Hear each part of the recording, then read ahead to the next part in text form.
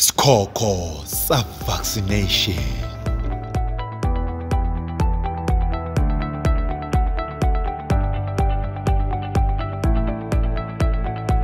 what are the strategies to be able to deal with uh, vaccine awareness as well as um, um,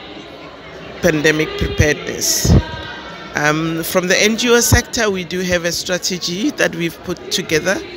and what we are doing is we actually are looking at conducting some uh, community dialogues uh, at district level where we'll be able to talk to communities about the vaccine, the importance of actually doing, being able to be aware of the vaccination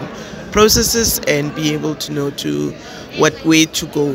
Um, as a sector, we have done some bit of um, mapping uh, in terms of looking at where um, some of these service points are and where people can go for some of the um, services that they are needing. So for us, is to really connect with the communities and make sure that they understand where they need to go and they understand what to do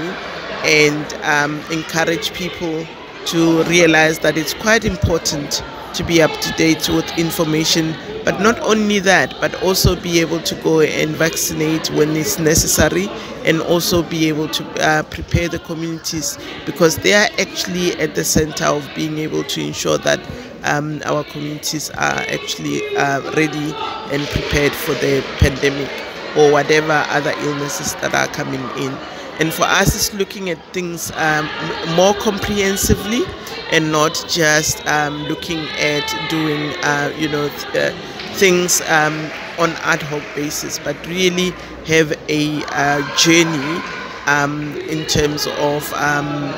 being able to offer some of the services where we don't offer the services be able to collaborate with other sectors be able to uh, uh, collaborate with other stakeholders and ensure that our communities are safer.